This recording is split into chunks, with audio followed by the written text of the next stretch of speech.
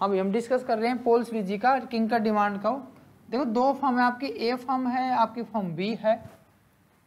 मान लो इसकी ना टोटल सेल्स है हंड्रेड यूनिट और इसकी मान लो टू हंड्रेड यूनिट है। टोटल मतलब इसका मार्केट शेयर बटा होता है। ये आपको हमें क्लियर हो चुका है कल वाले मॉडल से। एक फॉर्म ने क्या किया? मान लो इन दोनों का आउटपुट ना हंड्रेड ही मान लो दोनों का, ये कांस्टेंट है, ये प्राइस इस पर आप बेच रहे हैं। ठीक है, ये प्राइस इस पर आप बेच रहे हो, कोई नहीं, हम मान के चल रहे हैं। इसने क्या किया, एक फर्म है, इसने देखो ये प्राइसेस कम किया। अब इनके प्राइसेस ऐसे मान मान रहा हूँ मैं कि ये यहाँ से चले हैं ये दोनों। प्राइसेस का मैं मान के चल रहा हूँ। इसने प्राइसेस कम किया, ये भी उसी रेंज से आपकी प्राइसेस कम करने लग रही है। कर रही है? कर रही है ना प्राइसेस कम? ठीक है। अभी प्राइसेस कम कर रही है दोनों, क्योंकि भाई मार्केट शेयर में कोई फ़र्क पड़ेगा? बताइए मेरे को। डिमांड पर कोई फ़र्क पड़ेगा? जित, इसने प्राइसेस कम किए, इसने भी किए, इसके फिर सो रह गए, फिर सो रह गए। जितना चेंज उसने किया, उतना ही उसने किया। तो ये तो क्या हुआ? एक लिमिट तक प्राइस बताओ इलास्टिक डिमांड इलास्टिक हुई या इन इलास्टिक हुई? इन इलास्टिक कोई फ़र्क नहीं पड़ा। अब देखो क्या हुआ। अब मैंने क्या कहा? ये हुआ आपकी एफ़ हमने प्राइसेस कम किए बी फर्म ने भी प्राइसेस कम किए। पहला केस एफ़ हमने फिर से प्राइसेस कम किए बी ने फिर से प्राइसेस कम कर दिए। मार्केट शेयर सेम रहेगा। ड्यू टू क्योंकि सेम आपका रिज़ल्ट आ रहा है। सेम चीज़ें हो रही है तो आपका मार्केट शेयर आपका सेम रहने वाला है। यहाँ तक क्लियर है? ठीक है। अब क्या हुई? ए फर्म ने प्राइसेस को इंक्रीज कर दिया। एक और चीज़ ऐड कर लेता हूँ मैं इलास्टिसिटी यहाँ पर क्या है? इन इलास्टिक इन इलास्टिक है। यहाँ पर क्या आपकी? इन इलास्टिक है। यहाँ पर भी अब आगे क्या इसने प्राइसेस को बढ़ा दिया? बी क्या करेगी? बी प्राइसेस को नहीं बढ़ाएगी कांस्टेंट रख रही है। क्या रखेगी? कांस्टेंट रखेगी। कांस्टेंट रख दिया? अब ठीक है। अब मुझे बताओ, इसने प्राइसेस बढ़े तो आपने लॉ ऑफ़ डिमांड भी पढ़ रखा है लॉ ऑफ़ सब्सटीट्यूशन भी पढ़ रखा है। बताओ क्या हुआ? किधर से कस्टमर शिफ्ट होंगे वो? ए के शिफ्ट ए से शिफ्ट होकर बी पर चले जाएँगे। तो यहाँ पर क्या है? इसका बी का मार्केट शेयर आपका बढ़ जाएगा और ए का आपका कम हो जाएगा। ठीक है? और ये क्या होगा? यहाँ पर इलास्टिक या इन इलास्टिक है। इलास्टिक हो जाएगी डिमांड बात समझ में आ गई ये वाली? यहाँ तक समझ में आ गई? अभी किंग का डिमांड का कई बात मैं बता रहा था। अब मुझे बताओ कि फर्म को प्राइसेस कम करना है या बढ़ाने में फ़ायदा या नुकसान है? कम करने से कोई फ़ायदा हुआ? बढ़ाने से? नुकसान हो गया, है ना? आपने क्या देखा कि जब फर्म अपने प्राइसेस कम कर रही है तो दूसरी साथ में कम कर रही है। जब साथ में कम कर रही है तो क्या होता है कि उनका मार्केट शेयर सेम रह जाता है। तो डिमांड आपकी इनइलास्टिक हो गई। और दूसरी, जैसे ही किसी फर्म ने प्राइसेस को बढ़ाया, दूसरी नहीं बढ़ाएगी, और दूसरी नहीं बढ़ाएगी तो आपका क्या होगा? प्राइस आप प्राइस रिजिडिटी बोल दो मतलब उसने अपने फिक्स रख लिए, और उसे क्या होगा? उसको लॉस होगा, फ़ायदा नहीं होगा। आई समझ में? किंग का डिमांड का कैसे बना? देखो, अभी आपको मैं बताता हूँ।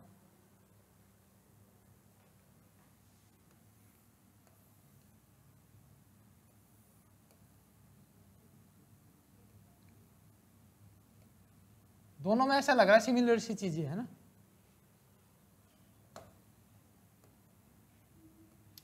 ठीक है स्टेट नहीं बन रहा।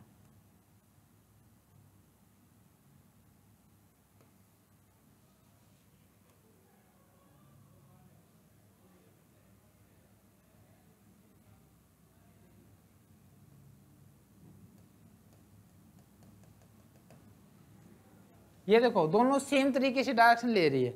इसने कम किया, इसने भी कम कर दिया। इसने कम किया, इसने भी कम कर दिया। ठीक है ओके अब इसने ना प्राइस को थोड़ा सा ये से कर दिया। ये अपने सीधे आ गया। इसको क्या फ़र्क पड़ा? ये अपने सीधे चला पड़ा। अब इसने क्या किया? यहाँ पर प्राइस तो जो मूवमेंट है, वो मैच कर रही है है ना? अभी देखो दो अलग अलग डायरेक्शन जा रही है, इधर जा रही है, इधर जा रही है। अपने स्टेट रहे बढ़ता जा रहा है। यहाँ पर क्या है? प्राइस मूवमेंट आपके मैच कर रहे हैं और यहाँ पर आपका क्या है? प्राइस मूवमेंट आपके मैच नहीं कर रहे। यहाँ पर आपके मैच नहीं कर रहे। और ये जो चीज़ बनी है, इसको बोला गया किंकड डिमांड कर्व क्या बोला गया किंकड और किस वजह से बना है? क्योंकि इसने एक दूसरे को फॉलो नहीं किया। ये वाला पार्ट इलास्टिक है या इन इलास्टिक ये पता होना चाहिए। जब प्राइस मूवमेंट मैच कर रहे हैं तो आपकी डिमांड क्या है? वेरी गुड इन इलास्टिक और नीचे जब प्राइस मूवमेंट मूवमेंट मैच नहीं कर रहे तो इसको क्या बोलते हैं? इलास्टिक ये वाला केस समझ में आ गया आपको? बहुत आसान और बहुत इंपॉर्टेंट आपका है, बहुत बच्चे नहीं समझ पाते कि इसको किंग का डिमांड का क्यों बोलते हैं। फ़र्स्ट थिंग आपने पढ़ा कि भाई दो फॉर्म्स है, दो फॉर्म्स में पहले प्राइसेस कम कर रही तो दूसरी करेगी, अपना मार्केट शेयर कोई नहीं गंवाना चाहती। फिर कम कर रही है, फिर कम करेगी, एक लिमिट तक करने के बाद एक फॉर्म बढ़ा देगी, दूसरा नहीं बढ़ाएगी।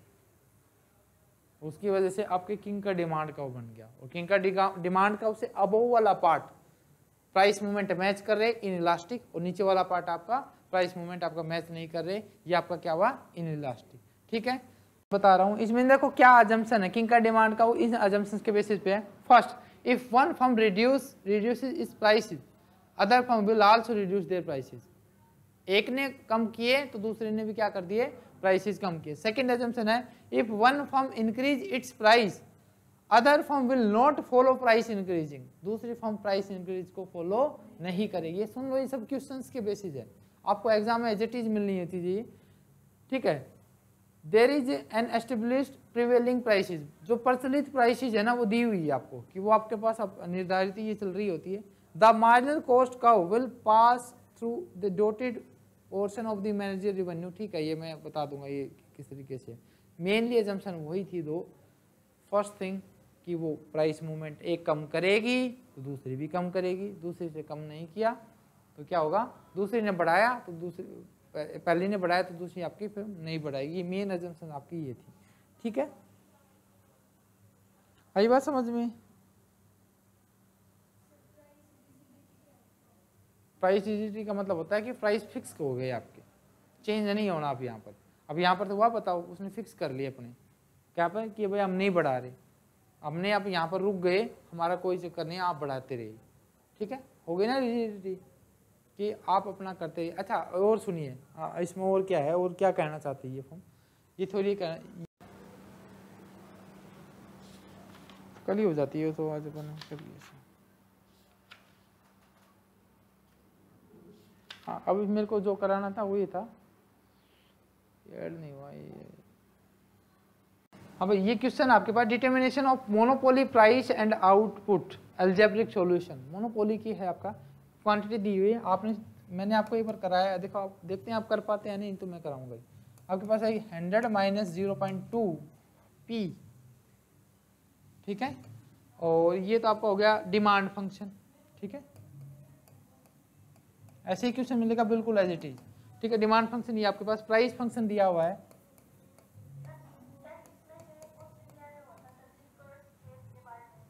अच्छा। P इज़ इक्वल टू हाँ।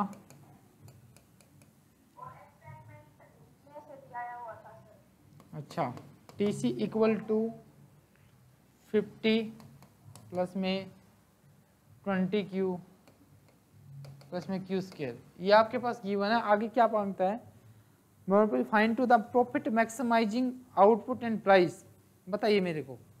आपसे कोई भी पूछे ना, कोई भी आपकी कंडीशंस हो प्रॉफिट मैक्सिमाइजिंग कंडीशंस हो, याद रहे कंडीशन आपकी सेम करनी है आपने। M R equal to M C कोई भी आपका मार्केट स्ट्रक्चर हो, आपको क्या लिख देना है? M R equal to M C यही आपकी एक ऑप्टिमाइजेशन की कंडीशन है प्रॉफिट मैक्सिमाइजेशन की कंडीशन है। अब आपके पास ये गिवन है डिमांड फ़ंक्शन है ये प्राइस फ़ंक्शन ये दे रखा है और टोटल कॉस्ट आपकी ये दे रखी है। ठीक है? हमें क्या प्रूव करना है? हमें क्या प्रूव करना है? M C equal to M R किसी भी की आ जाए ऑप्टिमाइजेशन कंडीशन आपको क्या प्रूव कर देना है? M C equal to M R prove कर देना आपको दिख रहा है यहाँ पर? कर सकते हो आप? सोल्व कर आया हुआ मैंने कर सकते हो आप? याद नहीं है? मैंने आपको एक बात बताया था हमने बताया था मार्जिनल जो कॉस्ट होती है आपकी, वो क्या होती है? इज़ फ़र्स्ट डेरिवेटिव याद है? ऑफ़ टोटल तो इससे आपकी क्या आ जाएगी? मार्जिनल आ जाएगी। हमें क्या चाहिए अब? रिवेन्यू चाहिए। तो रिवेन्यू क्या होता है? पी और क्या को मल्टीप्लाई कर दो तो रिवेन्यू आ जाएगा। है ना? तो क्या आ जाएगा आपका? रिवेन्यू आ जाएगा। तो जैसे आपके पास है, इसको पी है, इसको क्या उसे मल्टीप्लाई कर दो। आ जाएगा या नहीं आ जाएगा? और फिर उसका क्या आ जाएगा? टोटल रिवेन्यू आ गया, उसका फिर फ़र्स्ट वो निकाल लो। जैसे यहाँ पर क्या है, हमारे पास प्राइस फ़ंक्शन है, हमें क्या निकालना है? टोटल रिवेन्यू निकालना है। तो टोटल रिवेन्यू हमें पता है total revenue is equal to P multiply Q हमारे पास क्या है? ये पी का फ़ंक्शन दिया हुआ है। पी क्या हमारे पास? पी दिया हुआ है भाई five hundred minus five Q और इसको मल्टीप्लाई कर दो। क्यू से तो ये क्या हो गया आपके पास? टोटल रिवेन्यू आ गया। आ गया नहीं? अब इसका फ़र्स्ट डेरिवेटिव निकाल तो मार्जिनल आ जाएगा। प्लीज़ आप खुद कीजिए, मैं करा दूँगा, लेकिन अब ट्राई कीजिए आप। आने लग गए हैं। हाँ भाई, देखो इसका सोल्यूशन करते हैं सोल्यूशन करते हैं। हमारे पास ये गिवन डेटा है। हम सबसे पहले निकाल लेते हैं क्या? हम निकाल लेते हैं, हमारे पास ना मार्जिनल कॉस्ट दे रखी है। मार्जिनल कॉस्ट क्या होती है? हमारे पास टोटल कॉस्ट दी हुई है। इसका फ़र्स्ट डेरिवेटिव क्या होता है? टोटल कॉस्ट तो हम पहले निकालते हैं मार्जिनल कॉस्ट निकाल लेते हैं। हमारे पास, हमें पता है टोटल रिवेन्यू दे रखा है फिफ्टी प्लस में ट्वेंटी, क्यू प्लस में क्यू स्केयर हमें पता है कैसे निकलता है आपका डेरिवेटिव। मार्जिनल कॉस्ट आपके पास फिफ्टी है ना? ठीक है। अब देखिए, इसका क्या हो गया? ज़ीरो। इसका क्या आ गया? ट्वेंटी। और इसका क्या आ गया? ये आ गया ना, क्योंकि एक की पावर माइनस हो गई तो टू क्यू आ गया। तो ये क्या आ गया आपके पास? ये आपके आ गया marginal cost is equal to twenty plus में टू क्यू? अब हमें क्या निकालना है? हमें निकालना है मार्जिनल रिवेन्यू क्योंकि हमें कंडीशन ये फुलफिल करनी है marginal cost is equal to marginal revenue marginal revenue calculate करते हैं। हमारे पास डेटा है। हमारे पास ना ये गिवन है।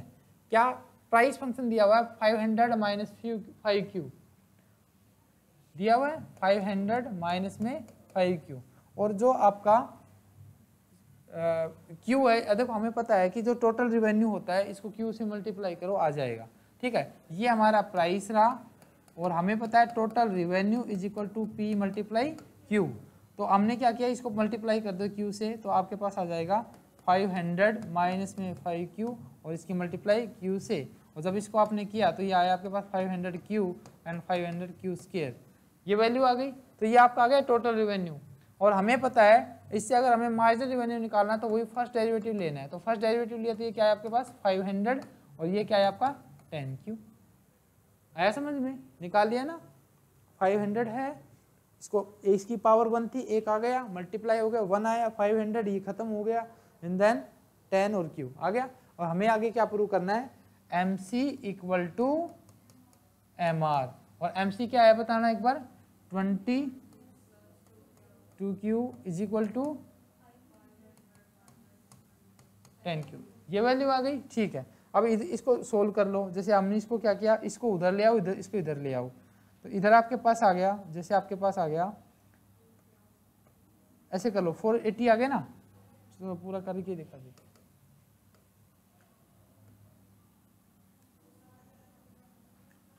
ये क्या है? चलो इसको ऐसे ले आते हैं। टू क्यू माइनस में, प्लस में is equal to five, minus में ट्वेंटी। ये आपके आ गए ट्वेल्व क्यू और is equal to four eighty तो क्यू क्या आया आपके पास? क्यू क्या आया आपके पास?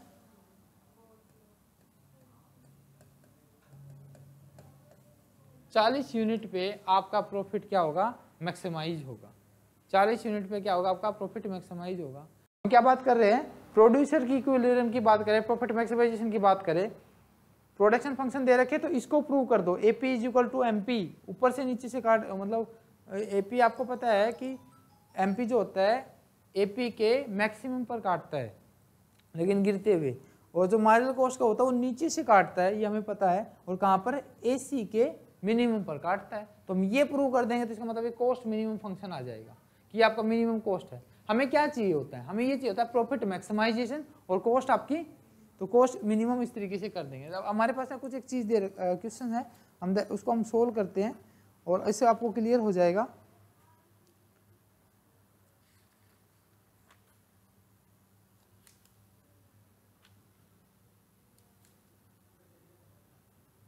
हमारे पास ये है भाई टीसी दे रखा है हमारे पास। टोटल कॉस्ट ये दे रखा है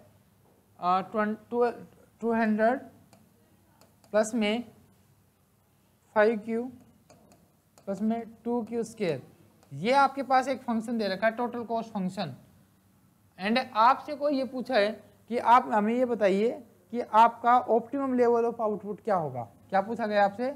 ऑप्टिमम लेवल ऑफ़ आउटपुट बताइए कैसे निकालेंगे? मैं आपको हिंट देता हूँ। हिंट में क्या है? हमें पता है हमें क्या प्रूव करना है? हमें प्रूव करना है ए सी इक्वल टू हमें पता है level of optimum level of output वो वहाँ होगा, जहाँ पर आपका ए सी और एम सी एक दूसरे के इक्वल हो जाए। ये तो क्लियर है। अब आपको पता है कि अगर आपको ए सी कैलकुलेट करना है तो टोटल कॉस्ट को किसी डिवाइड कर दो? और आपको मार्जिनल कॉस्ट निकालना है तो ये क्या होता है आपका? फ़र्स्ट डेरिवेटिव देन अब आप इसको सोल्व कीजिए। कर दोगे अब? बिल्कुल आसान सा है।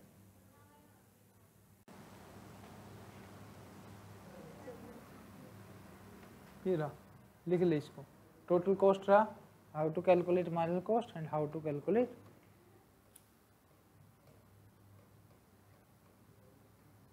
ये बता दे कि हमने फ़र्स्ट डेरिवेटिव निकाला अच्छा ये ये लिख अच्छा अब बता। शाबाश।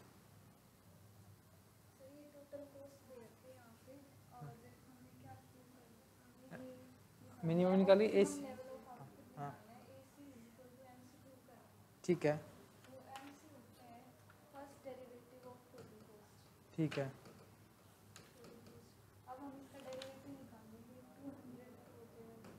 वेरी गुड फोर ठीक है। आ गया? समझ में आ गया? ठीक है। आगे चलिए। एसी निकालिए। एम सी अब ए जी निकाल दिखाओ। अब एवरेज कॉस्ट का फॉर्मूला होता है टोटल कॉस्ट बाय क्यों क्या वो मतलब क्वांटिटी ठीक है, करो करो टोटल कॉस्ट इसको हम क्या उसे डिवाइड कर देंगे 100 plus 5 Q plus 2 Q square by Q इसको हम क्या उसे डिवाइड कर देंगे यहाँ से डिवाइड करा, इसको ये तो रह गया 5 इसको क्या उसे डिवाइड करा तो ये रहेगा 2 क्यू क्योंकि स्क्वायर था तो ये क्या हो गया 2 क्यू और इसके डिवाइड में आ गया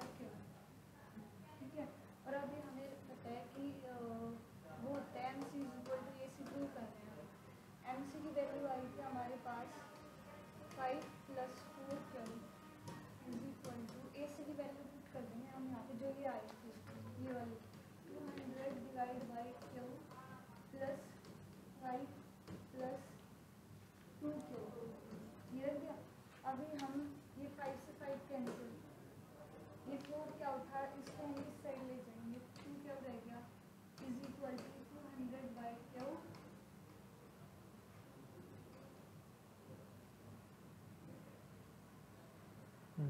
ये आ गया था two Q is equal to two hundred by Q अब इस क्यू को ये यहाँ पे डिवाइड में है इसको उस साइड लेके गए ये हो गया मल्टीप्लाई ये हो गया two Q square is equal to two hundred अब ये टू यहाँ पे मल्टीप्लाई में है तो इससे डिवाइड हो जाएगा ये आ गया क्या square is equal to hundred आ गया अभी स्क्वायर रूट होता है हंड्रेड किसका होता है टेन का तो क्या वो इज़ इक्वल टू आ जाता है ठीक है? तो ऐसे निकालना आपने और इस तरीके से निकल जाएगा। बिल्कुल A C equal to M C कर दो। याद रहे, आपको ना चीज़ें पता है। थ्योरेटिकल और प्रैक्टिकल भी पता लगे कि ए सी एम सी ए सी इक्वल हो जाएगा। ठीक है?